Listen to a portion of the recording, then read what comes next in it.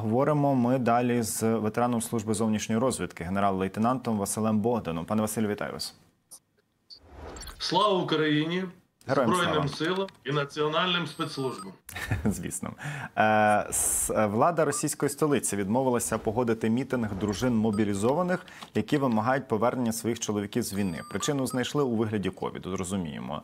Е, Ваші спостереження: наскільки російська влада, не тільки російської столиця, боїться таких е, мітингів? По-перше, треба мати на увазі, що путінське боярське дворян- дворянське кодло, пограбувавши країну і призвівши фактично до зубожіння, особливо національної окраїни і провінцію, е, постало перед серйозними викликами і ризиками всередині країни.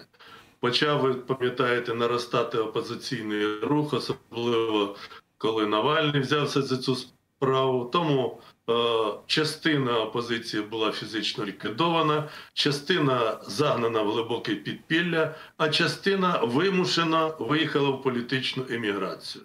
І все рівно ризики залишались, тому і була здійснена ця широкомасштабна збройна агресія проти України, як завжди, в дусі імперської політики вирішити питання внутрішніх за рахунок зовнішніх запозичень. І зараз ситуація теж е, непроста в Російській Федерації. Доходять сигнали про певні е, е, рухи, про невдоволення. А що стосується Москви, то вона і за радянських часів завжди страждала фрондою, завжди там було певне невдоволення, скептицизм від соціалізму і комунізму, і так далі. і так далі. Але те, що зараз відбувається на фронті, ті провали, які Путін отримав під час цієї агресії, звичайно, вони примушують до чого? До посилення мобілізаційної складової. І не тільки за рахунок, перш за все, національних окраїн, але і за рахунок центру Росії. Це і Москва, і Санкт-Петербург, і інші міста. А там, все-таки, не дивлячись ні на які репресії, е, все-таки рухи певні відбуваються, і вже визріло невдоволення цією війною. Наскільки мені відомо, на побутовому рівні москвичі вже, якщо раніше вони підтримували Путіна, то зараз вони його клянуть, зараз вони ним невдоволені і вони не бачать перспектив цієї війни. Тому і цей рух дружин військових, які зараз на фронті е, виконують цю е, жахливу волю диктатора Путіна. Зрозуміло, що спроби цей рух придушити вони були, є і будуть, але це серйозний дзвіночок. Не тільки для Путіна, але і для всієї еліти, і політичної, і військової, і інтелектуальної, що не дивлячись ні на які ура патріотичні там і мітинги не- нещодавно збирали за гроші там і так далі. І так далі, все таки ситуація суспільно-політична в Росії дрейфує в сторону несприйняття війни, її припинення і невдоволення самим Путіним, який намагається зберегти свою владу от таким чином. Е, Ще одне повідомлення. Попрошу вас його прокоментувати, бо воно зараз масово тиражується в українських медіях. Е, Один із інститутів німецьких е, черговий. Видав своє дослідження, якому сказав, що якщо війну в Україні заморозити, то Росії вистачить 6-10 років, щоб відновитися, більше того, вдарити по НАТО. Це те, на що варто звертати увагу, чи все-таки тут може бути якийсь, якась інспірація російська?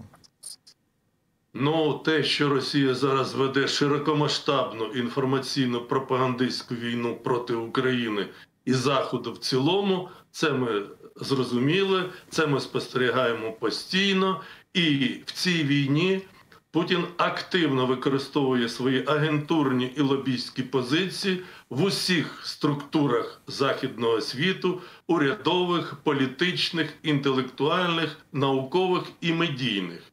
І ми спостерігаємо і, до речі, публікації і в Вашингтон Пост, і в інших е, засобах масової інформації, де чітко прослідковуються наративи, які впроваджує у світову громадську свідомість Путіна. Тому е, зараз е, мета Кремля одна заморозити цей конфлікт. І як говорить Путін, заключить мир на тих реаліях, які є, цебто ті окуповані тимчасово території, закріпити, застовбити за собою. Ну а далі накопичити додатковий ресурс і знову рушити вперед з тим, щоб стерти Україну і українську націю з лиця землі. Тому до цих е, таких от повідомлень потрібно відноситись, на моє переконання, з увагою.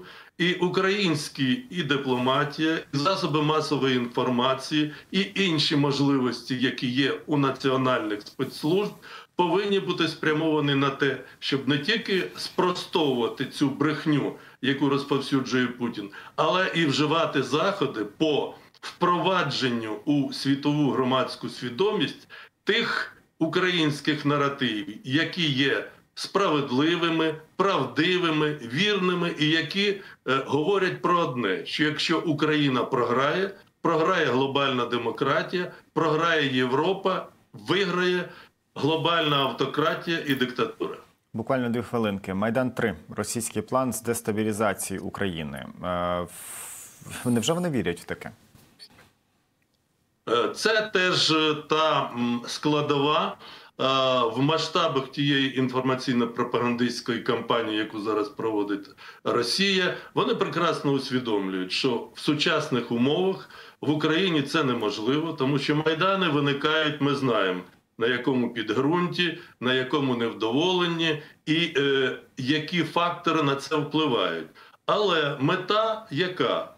Е, посіяти хаос в Україні, розколоти вище військово-політичне керівництво, посіявши до нього недовіру в українському суспільстві, сіяти дезінформацію через свою агентуру і окремі сепаратистські елементи, які, на жаль, ще присутні в Україні, і таким чином демонструвати світу, що Україна не єдина що в Україні є опозиційні сили, начебто, які виступають проти цього режиму і схильні до тих пропозицій, які Кремль зараз висуває для світової спільноти і України. Ну і ми звернули увагу, як на останньому онлайн е, саміті е, неповної двадцятки Путін брехливо, цинічно і е, лицемірно намагався знову засвідчити те і просунути те, що було на самому початку і перед початком широкомасштабної збройної агресії.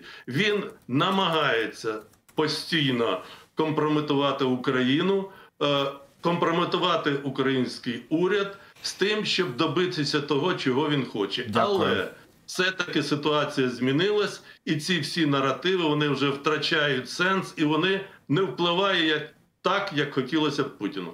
Я вам дуже дякую за відповіді. Генерал-лейтенант Василь Богдан, ветеран служби зовнішньої розвідки, був з нами на зв'язку.